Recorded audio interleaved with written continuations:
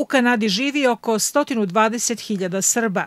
S druge strane, na ovdašnjim prostorima posluje samo jedna kanadska kompanija u sferi rudarstva i to u Somboru. Susret je organizovan u želji da statistika bude promenjena na obostranu korist.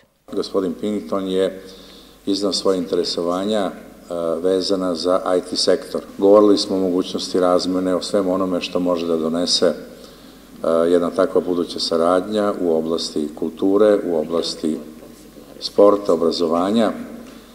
Gospodin Pinkton smatra naš univerzitet velikom strateškom prednošću našeg grada.